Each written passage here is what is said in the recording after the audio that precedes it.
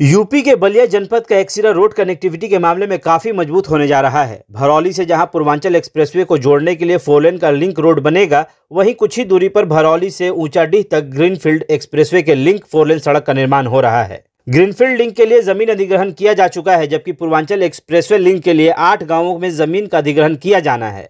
Greenfield expressway का शिलान्यास आज यानी सोमवार को केंद्रीय मंत्री नितिन गडकरी करने वाले हैं। बिहार और यूपी में सड़क कनेक्टिविटी ऐसे होने जा रही है कि पटना, लखनऊ और दिल्ली का सफ़र आसान हो जाएगा।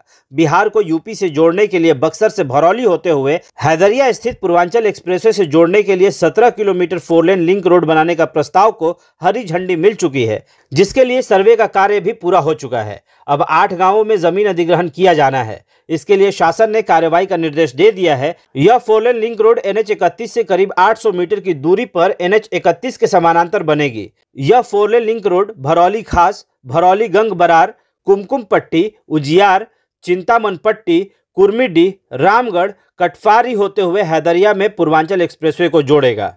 वहीं इसके अलावा गाजीपुर के जंगीपुर से बिहार के छपरा स्थित रिविलगंज तक बन रहे ग्रीनफील्ड एक्सप्रेसवे को भी जोड़ने के लिए भरौली से ऊँचा डीह तक 17 किलोमीटर का फोरलेन लिंक रोड बनेगा।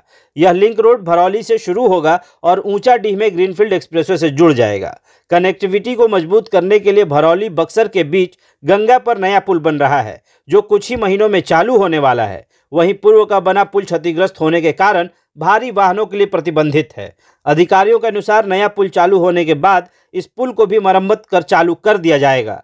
बिहार से पूर्वांचल एक्सप्रेसवे तक लिंक रोड का निर्माण एनएचआई बक्सर की ओर से किया जाएगा और जमीनों का अधिग्रहण इनके द्वारा ही किया जाना है। वहीं बक्सर स्थित फोरलेन गंगा पार कर भरौली तक आएगी। इस फोरलेन को ऊँचा डी के पास ग्रीनफील्ड से जोड़ा जाना है। बक्सर से हैदरिया तक पूर्वांचल एक्सप्रेसवे का फोरलेन लिंक रोड बनेगा, जो एनएचआई बिहार द्वारा बनाया जाना है।